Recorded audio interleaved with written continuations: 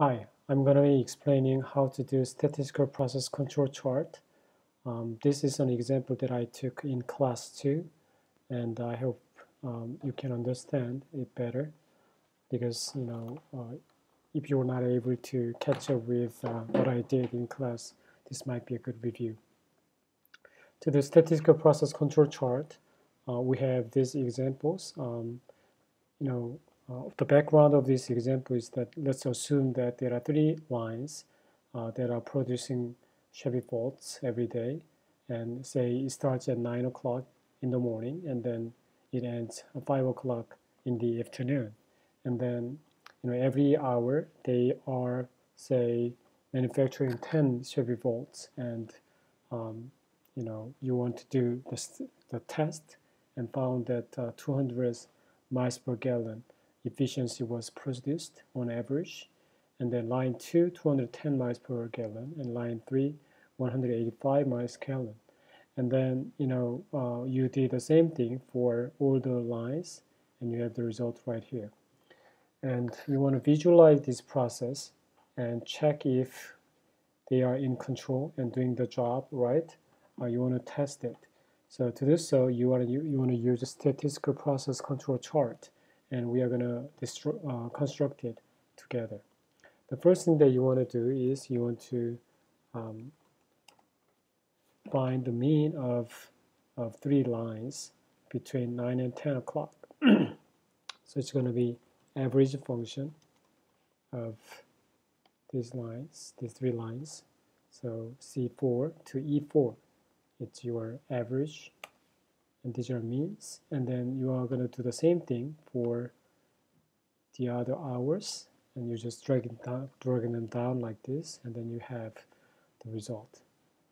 And then um, another thing that you want to do is you want to also look at range and range is defined as maximum maximum minus minimum of the range then you can find the uh, range automatically. So in this case, the range is um, 210 minus 185, which is 25. And the same formula are applied throughout the uh, uh, time periods. So you have this range. And then the next thing that you want to do is find the x double bar next double bar is average of these averages. So x double bar means um, mean of sample means. Therefore, you are going to calculate the average of averages. So that's what we did here. So average of these averages is double bar. And then you want to find the average for range too.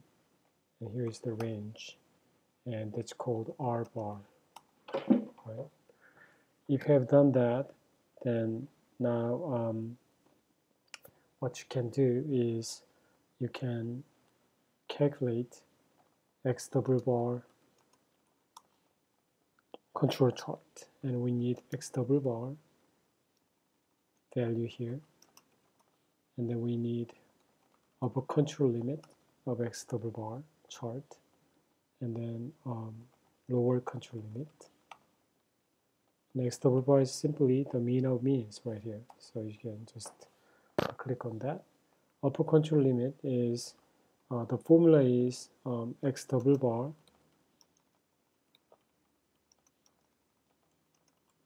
plus A2. A2 times R bar.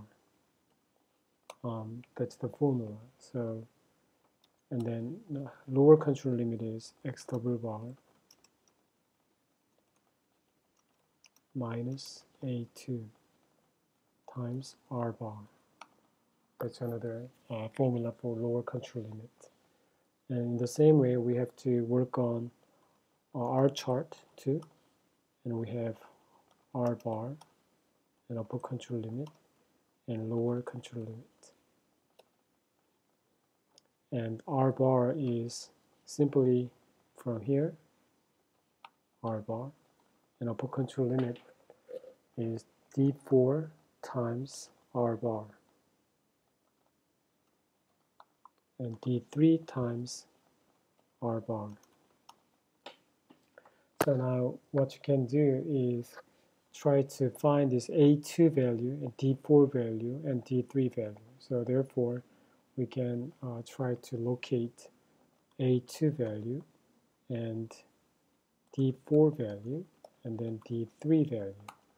And this is um, these are values that you can find from table S6.1 and it's also provided in my um, in my slide. So I'm gonna look at it with you together so now you want to find A2 value, D4 value, and D3 value. And if you go back to my slide here uh, under lecture 5, I gave this slide, which is uh, on slide 21 and table S6.1.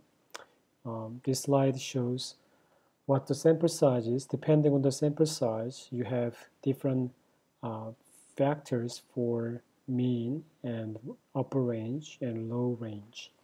And uh, uh, here, remember that we have three lines.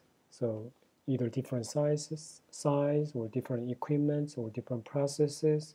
Um, you want to count the number of processes or lines, then it's, it's going to become your sample size. And we have one, two, three, line one and two, three. So three are lines, therefore our sample size is three.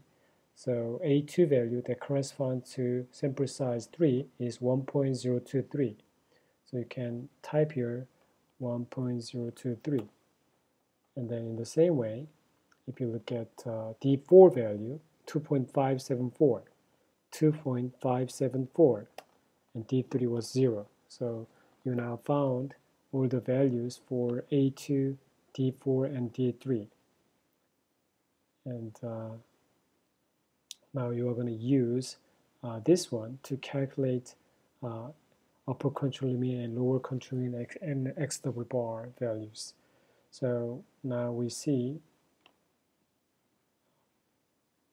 see here,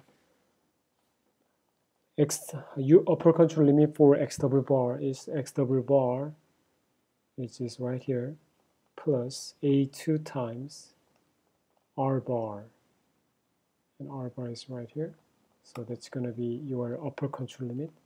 Lower control limit is x double bar minus a2 times r bar.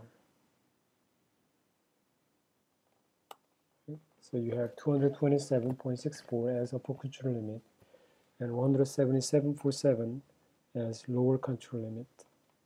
And then you have here um, r bar times d4 as upper control limit. So d4 times r bar is your r chart upper control limit.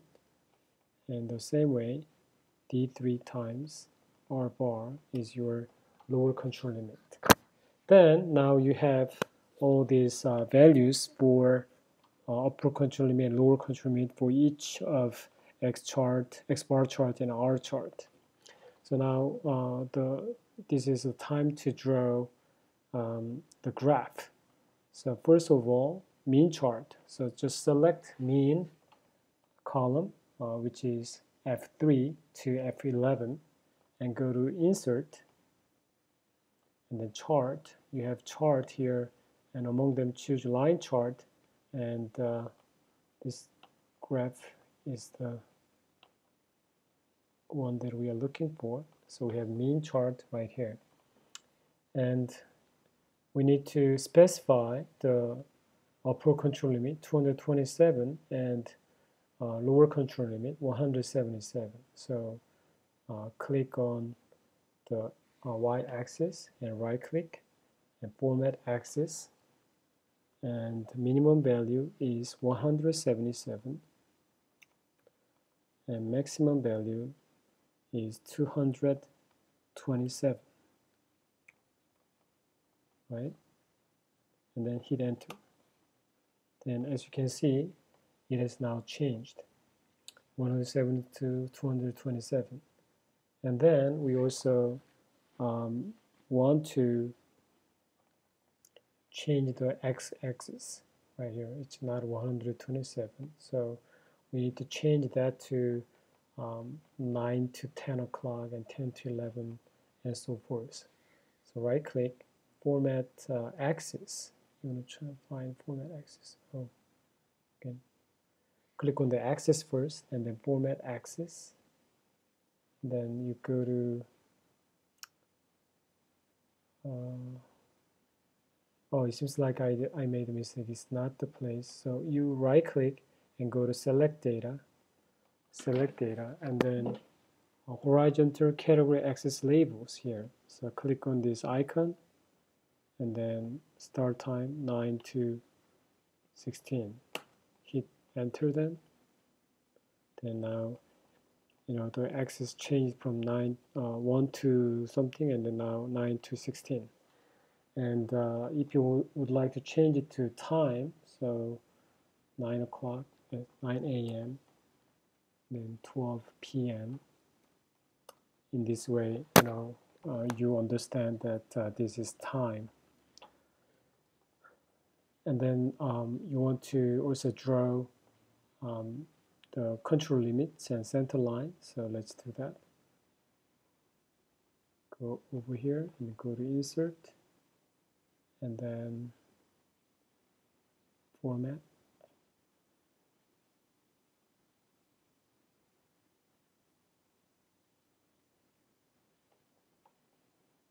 here insert shape and choose this line and 227 as your then you can change the color to say red right? and then copy it paste it in 177 the center line is 202.70 so 202.70 about here. And then you can also um, go to insert. And then again click on the chart first and then go to insert and shapes. And choose this box. And you can right here like that and right click edit text UCL upper control limit size too big so you can make it smaller right now arrange the okay. and then copy paste paste center line and then lower control limit so lower control limit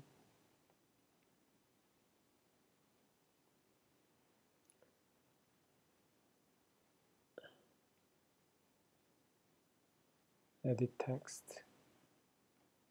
Uh -oh. edit text and center line. Then you have mean chart.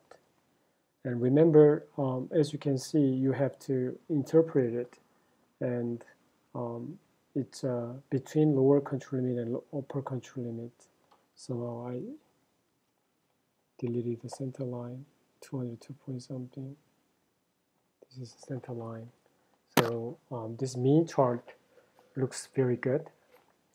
And next is range chart. Let's select a column first and then go to insert and chart. Among the chart you want to choose this line graph and you have this mean chart right here. And again, take a look at this upper control 62.74 lower control limit is zero. So let's draw it. Um, I'm going to just copy this line and paste.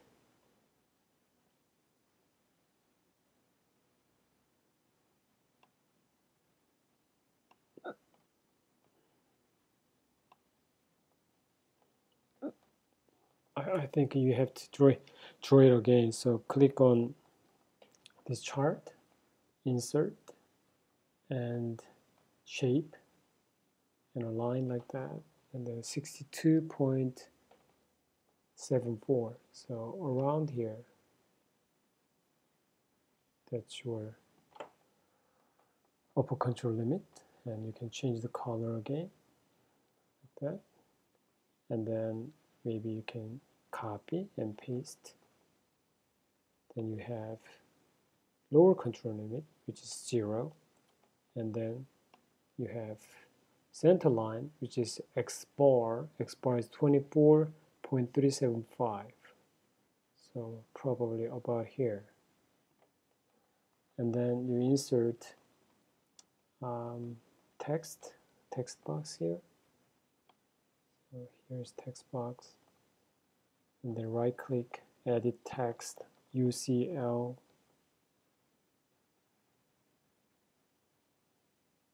copy and paste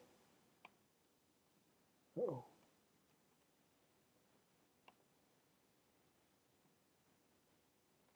center line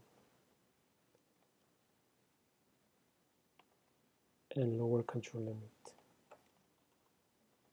Now you have range chart, right? So when you are judging this process, you have to look at both mean chart and range chart. As you can see, mean chart is oscillating around the center line and no point is going beyond this uh, uh, upper control limit or lower control limit, which is good sign. However, range chart shows that you know at 3. Oh, I need to change this. So let's uh, see what happens. Select data and uh, horizontal line and choose start time. Then you have the time. So at around 11 o'clock, we see that something happened and it's not stable. Um, so the conclusion that you can make is as a manager you see that there's some problem at 11 o'clock and this whole process is not stable and you want to investigate what happened at 11 o'clock so let's go to 11 here 11 12 now between this time line 1 180 miles per gallon line 2 170 miles per gallon line 3 240 miles per gallon so line and line one and line two underperformed severely uh, because the average 202 and their performance is very low, 180 and 170. Uh, however, line three somehow did a great job, uh, achieved 240 miles per gallon. So uh, was very good thing uh, to see. So we see that line one and line two somehow did not perform very well, and you, you have to understand or ask the production manager or uh, production people there what happened at 11 o'clock. While uh, in line 3, 240 miles per gallon was achieved. So you want to understand that too. If possible, you know, replicate line 3. You know, uh, among all these um, uh, you know, performance, 240 was the highest, and how come you know 11 and 12 between 11 and 12 this much performance was uh, achieved, you want to understand that, and if possible, you want to replicate that, make it a benchmark, and then uh, do your best um, to repeat uh, this achievement. And another question that I might be asking if I was a production manager is that, am I satisfied? Am I satisfied with this process?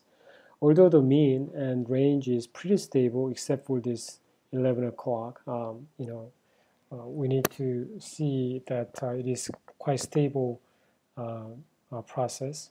So I would be happy with that. However, um, we're considering that uh, Chevy Volt was promising that it's going to achieve 230 miles per gallon according to the marketing campaign. The uh, center line is only uh, 202, so it, this one has to go at least 30 miles above uh, so that they can deliver uh, the marketing promise that has to be done. Okay, so this is a statistical process control chart and how to interpret it. I hope this was helpful for your understanding and uh, doing your homework. Okay, thank you.